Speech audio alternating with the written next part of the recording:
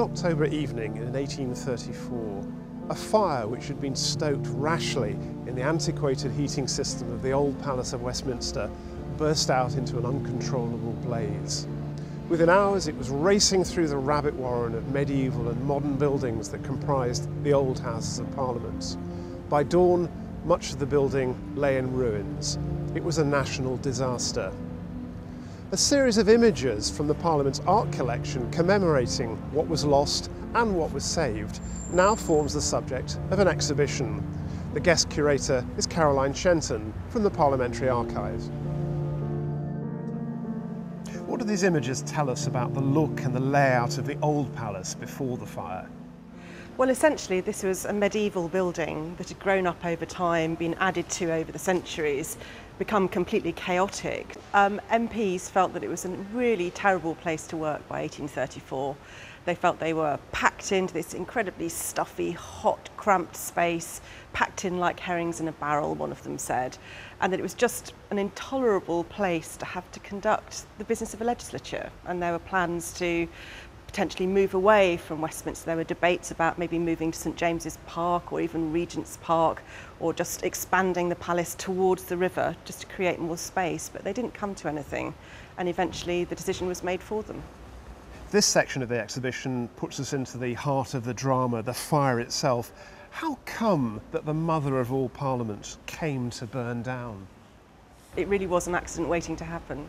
The greatest act of stupidity on record, according to the Prime Minister.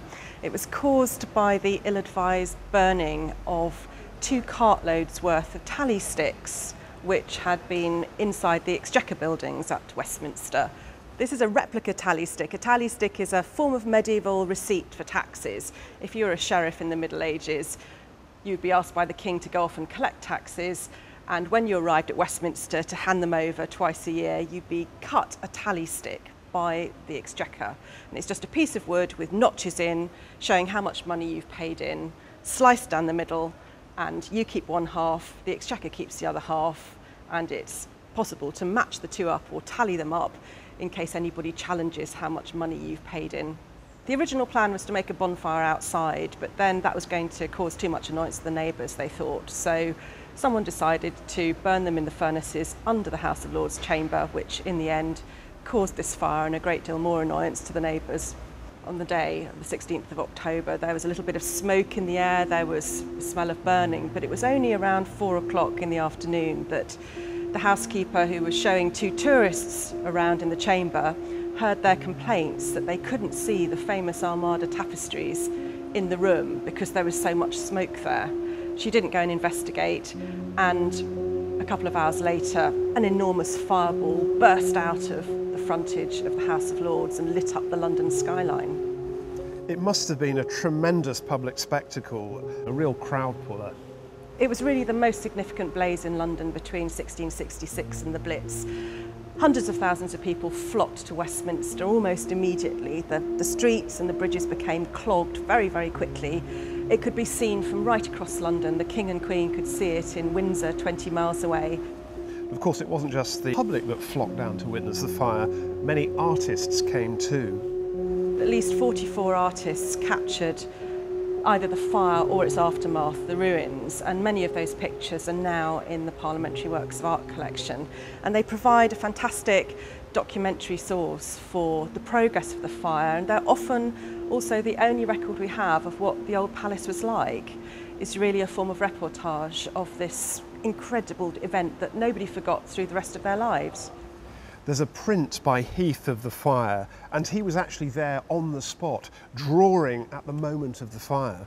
That's right. The, he very proudly says underneath this lithograph, drawn on stone by the light of the flames. And it's true that the blaze was so great that people could read newspapers a quarter of a mile away as if it was noonday, they said. What do these images tell us about the progress of the fire throughout the structures? Because they show buildings which have now vanished. The fire didn't destroy the whole palace, but it destroyed its medieval core. So, um, very famous apartments like the Painted Chamber, like the House of Lords Chamber, were completely um, obliterated by this fire. Some of these pictures capture the excitement of tens of thousands of people flocking down to the river, crowding into boats to get a good view.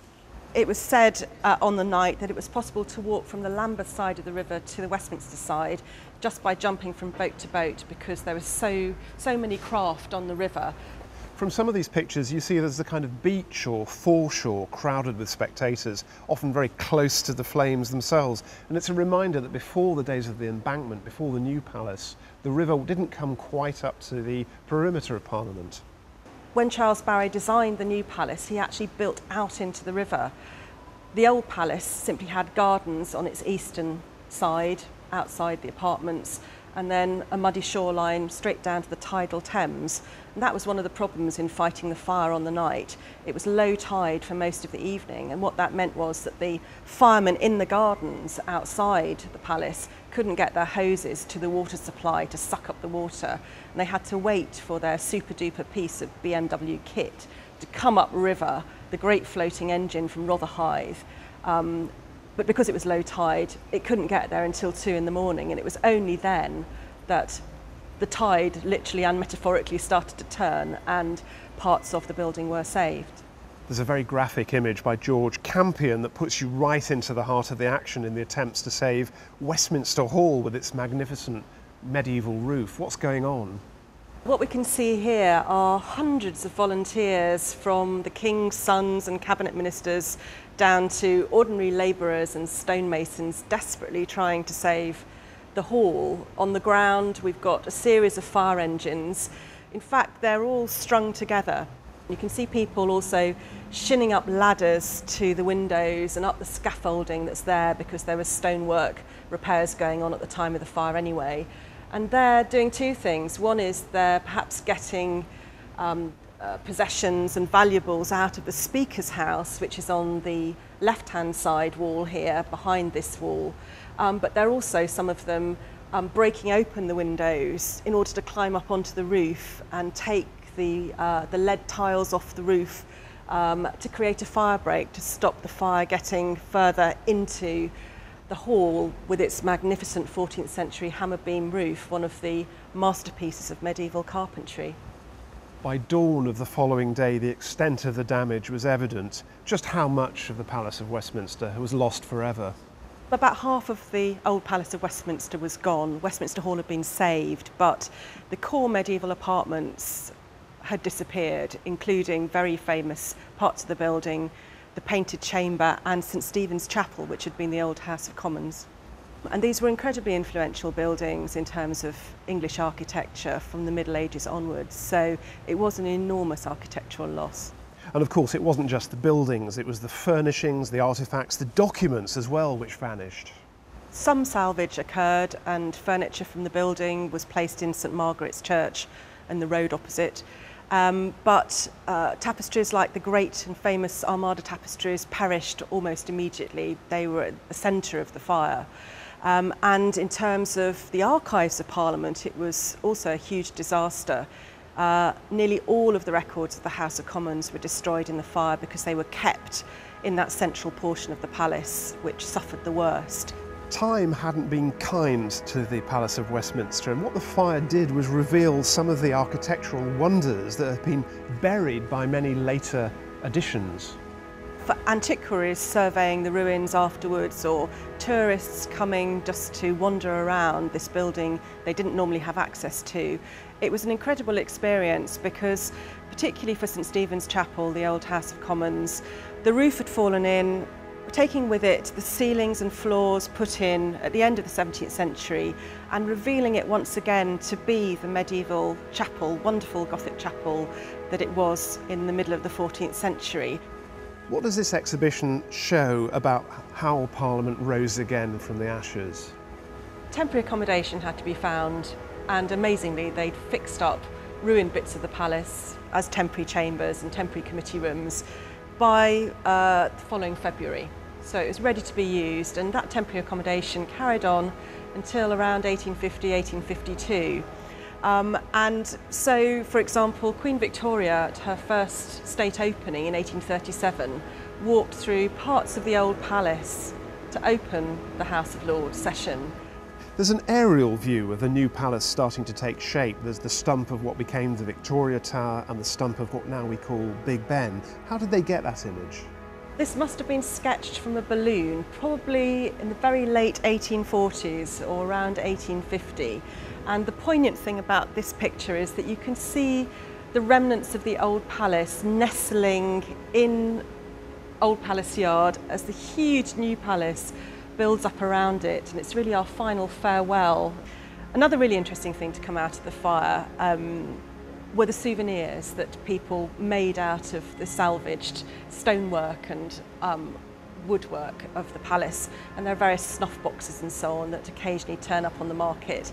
And I've got a souvenir here and this is allegedly made from the lead that melted off the roof of St Stephen's on the night of the fire and a very enterprising seal manufacturer called Doubledays of Little Russell Street by the British Museum has cast this into um, this souvenir um, which shows the seal of St Stephen um, and it's got a little loop on the side of it and I think that this must have been threaded through a chain and perhaps used as a gentleman's watch fob or something like that. So this is really a little personal memento to complement the art in this exhibition, which shows the impact of this great national disaster.